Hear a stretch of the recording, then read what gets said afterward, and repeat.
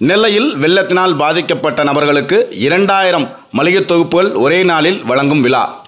திருநெல்வேலி துவரை ஆபீஸ் சிந்துபூந்துரை கணேசபுரம் முத்துமாரியம்மன் கோவில் தெரு மீனாட்சிபுரம் கொக்கரைக்குளம் வண்ணாரப்பேட்டை ஆகிய இடங்களுக்கு அக்ஷய பாத்ரா தொண்டு நிறுவனத்தின் மூலமாக பாஜக வடக்கு மாவட்ட செயலாளர் ஆர். மேகநாதன் என்ற செந்தில் அவர்களின் சிறப்பான ஏற்பாட்டில் திருநெல்வேலி சட்டமன்ற உறுப்பினர் நயினார் நாகேந்திரன் அவர்கள் தலைமையில் பாஜக வடக்கு மாவட்ட தலைவர் தயாசங்கர் அவர்கள் முன்னிலையில் கோதண்ட ராமதாசா பிரபு மேற்பார்வையில் வெள்ளத்தினால் பாதிக்கப்பட்ட இரண்டாயிரம் நபர்களுக்கு பனிரெண்டு பொருட்கள் அடங்கிய நிவாரண தொகுப்பு வழங்கப்பட்டது.